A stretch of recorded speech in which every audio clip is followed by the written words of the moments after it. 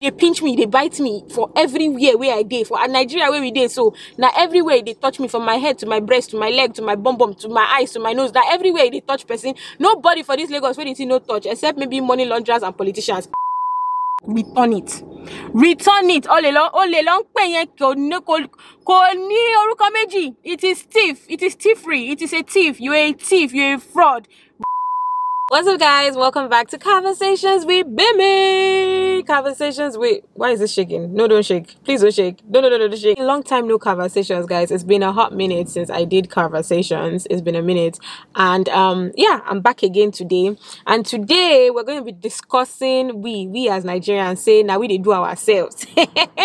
now we they do ourselves. By the way, you guys know this is conversation, so I'm parked on the road. So you might be hearing cars, onks, Okada, motorcycles schools, buses, BRT, everything, just doing what it feels like. But yeah, that's what conversations is about. Like I said today, you guys, I'm going to be talking about we as Nigerians say now we did do ourselves. So basically this is this has stemmed from a personal experience I just had recently and I was like, you know what, I need to come and share with you guys and let you guys know and also get your input on um, what you guys think about this. So if you're new to my channel, Carversations is something I basically started. It's a series I started where I talk about the daily lives of the average Nigerian, like things that go on daily in our lives that I know that we can all relate to, whether you are in the diaspora, you once live here, you live here currently, you never, you don't live here anymore, all that stuff. And there are different episodes that are already created, so you should go and watch it to catch up and know what all of this is about. So if you're interested in knowing what's this thing that I want to talk about today, saying that Nigerians now we they do ourselves, just keep watching. Anyway, so the first thing I want to talk about is um, money, basically. Um, so what happened? Something that happened to me a couple of weeks ago. I was trying to pay some salaries and I was making transfer on my phone and I wasn't concentrating. And so I mistakenly sent somebody's salary to another person, like to, you know how on your mobile banking app you save some people's account numbers so i already had some account numbers saved already right so there were two names that looked alike and i just assumed i just once i just saw Angela. I just thought that, you know, it's the Angela I'm supposed to send money to. And apparently it was an Angela that I probably bought something from a long time ago because I do not even remember who the person is. So I just clicked on it and he said, Oh, am I sure I want to send to the person? And I said yes and I sent it. It was only when I went back to my Excel sheet and I saw that, ha, it's not the right person. No. So I called up customer service and I said, I just sent money to the wrong person. What do I do about it? And then they told me that I had to go to the, um, a, a branch office and fill out something called an indemnity form. So I packed up all my things. I ran to the branch office, filled out the indemnity form and I was heading home. Only for me to be heading home on my way home, I discovered that the indemnity form I filled, I made a mistake again and filled the right Angela's account number as the account number that I sent money to. So, you guys, double wahala. So the next morning I woke up, I went to another branch of GTB, that's the bank by the way, and then I explained the situation to them and they said, oh, I just need to fill out another indemnity form, which I did. And I, I specifically asked the lady, I was like, does this mean that the, the person's account I put yesterday, hope nothing is going to happen to the person's account? and she said oh yeah that this new form that i filled because i went with my husband and she told us that this new form that i filled will override the previous form that i filled and so there will be nothing wrong with that person's account. And because i was just shaking like ha hey god i beg oh i don't want them to put somebody's account on hold and the person really needs the money and it was about to be around public holiday period so I needed them really to fix the person's account. Tell me why the next day the person calls me up and the person is like, um, there's a hold on my account and they said that you authorized it. I was like, I should explain that, you know, this was what happened and all that stuff and all that stuff. And I told her to go to the bank. And thank God it was, she was also using GT. She went to the bank and then they said, oh, that I shouldn't, I wasn't even supposed to fill out an indemnity form. I was supposed to just write a letter stating that this was what happened and I need my money back and all that stuff. That was all I had to do. Meanwhile, all these other customer service and all these other branches had told me that I should fill out something called an indemnity form, which I did. Long story short, that was resolved. Um, the, the lady's account was put back on, as they removed um, the hold on the lady's account and she was able to access her funds. Now, where I'm going with this actually is that I put it up on my Instagram stories that, you know, this was what happened and I just hope I can get my money back from the person I mistakenly sent money to because I just kept imagining that what if the person tells the bank that we had a transaction and I, and I sent the money to the person so and the person doesn't give the bank back my money what then happens? And then you know people started telling me on social media on instagram people started telling me on instagram their experiences which is why i am here today. And somebody partic- somebody's in particular story stood out to me. She said she mistakenly sent 1 million to somebody and she actually you know went to the bank took up the case in the bank. The bank did their investigation and found out that you know she did mistakenly send money into somebody's account. Okay now they contacted the person send the money back to the person. This person refused to send the money back or you people. I'm like money that is not your own your own this person did not send the money back. So i asked her how the matter was resolved and she told me that it had to be it eventually was a court case. She had to take the case to court. It wasn't even the bank that took the case to court. She had to take the case to court and they had to summon the person and ask the person to pay back the money. I'm like so if if it was a smaller amount because obviously nobody's going to let go of 1 million in this life but if it was a smaller amount which somebody also shared their experience with me that he, uh, she mistakenly sent 10,000 to somebody and the person refused to send the money back. So i was like that money just went like that. Me my money wasn't so much and it was much at the same time it was 40,000 but i wasn't i wasn't about to let go of the money. Thankfully it's been rectified. My money has been sent back to me. It took about a week. Even though the bank had said it would take a two weeks and above but it took me about a week and i got my money back and i'm very thankful for that. But what i'm trying to say is why are nigerians so why are you a thief? Somebody mistakenly sent money to your account.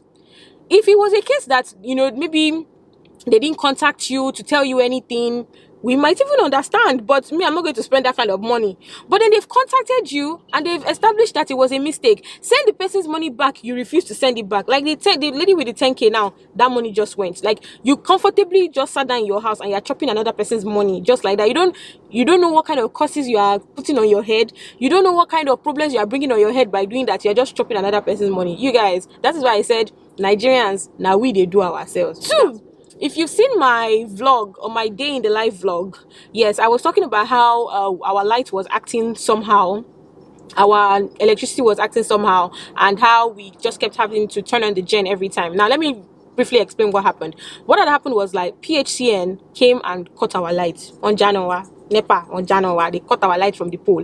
Now, why did they cut our light? On upon investigation, we found out that we had a we had a neighbor.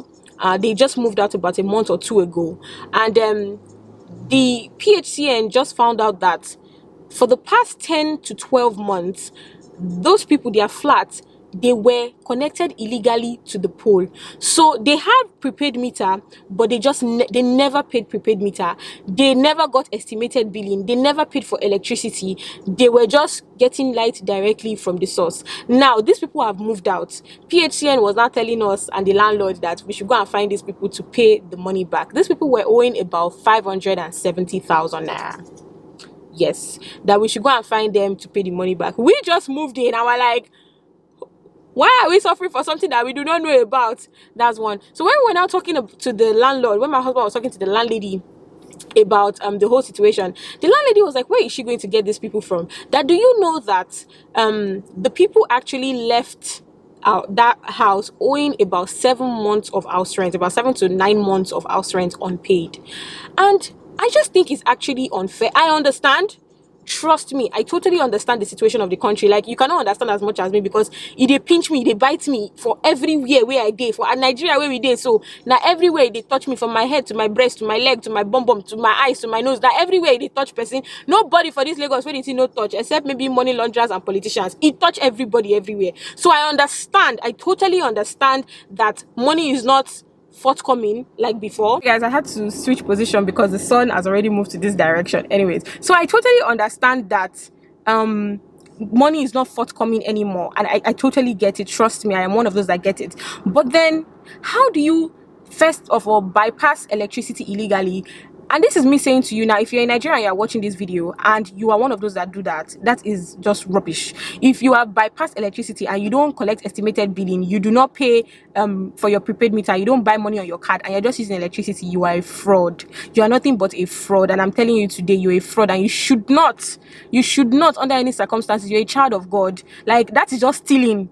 Is stealing. You're a child of god you should not be stealing. So fix up Mm-hmm. So why would you fraudulently be collecting electricity? Then you are owing house rent and you left the house without paying a dime out of that house rent. That is just so unfair immediately things got tough and you couldn't pay or maybe you come up with some type of payment plan or something you don't just leave because the landlady was asking where is she supposed to get all this money from now now PHN is saying they have to pay about 500 and something thousand naira where exactly in god's name is she supposed to get 500 thousand plus from to pay you guys when i say now we they do ourselves so now the landlady has all this money to pay.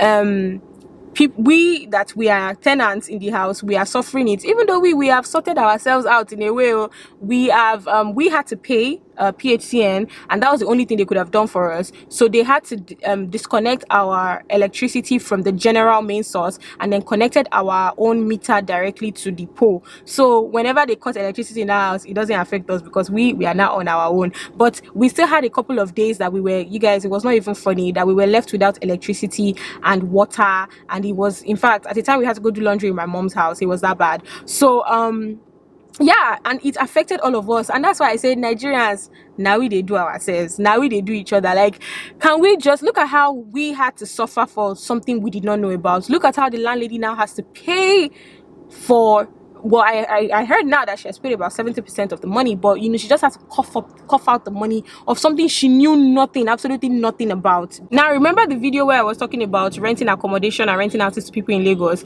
Imagine if these people that did this thing they were of a particular tribe or of a particular church and then the landlady now decides and says listen i don't want anybody from this tribe living in my house again. I don't want um anybody from this particular organization or church living in my house again or i don't want a businessman in my house or i don't want a you, you know some, th these are the things that stems and results into things like this that happen. So let's fix up.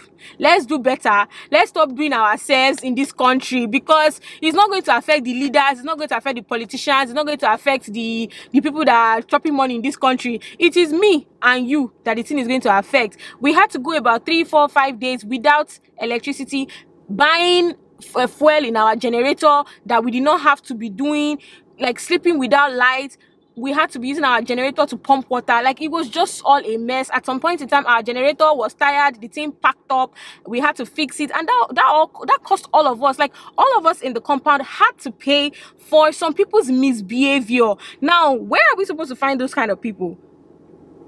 There's no way for anybody to find them that's the nigeria that we live in. So basically the whole story that i'm trying to say and tell you people in these carversations with bemi is that we need to learn to fix up. We need to learn to stop doing ourselves in this country. We need to learn to embrace ourselves as brothers and sisters and stop doing ourselves. Because look at the per person that somebody mistakenly transferred money to you decided not to send the money back you just chopped the money like that. So that, that's just wickedness now. Then you that you decided to run with light uh, payments run with house rent just like that. And i know there are so many stories like this in lagos. So i'm sure you people can relate. You've heard several stories like this. And if you're one of those that does this thing somebody mistakenly sent money to you and the bank has contacted you that you should return that money back return it return it. Olè lọ olè lọ ń pè yẹn kò ní kò ní orúkọ méjì. It is thief. It is thievery. It is a thief. You are a thief. You are a fraud return the person's money. One if you're one of those that are collecting light illegally stop it. Desist from me be free from me today. Rest in jesus name. If you're one of those that know you to pay house rent you do one year in this place you pack you move to another place one day nemesis will catch up with you. It will catch up with, you. Thank you guys so much for watching these carversations with Bemi. The light is already going down so I need to bounce out of this place skedaddle out of this place. I hope you guys enjoyed this particular episode. See you guys in the next one. If you have um if you have topics that you guys want me to talk about, I've always said leave it in the comment section down below. If you have questions for me, leave it in the comment section down below. Like this video, share this video with everybody that you know, and I will definitely see you guys in my next one. Bye, guys.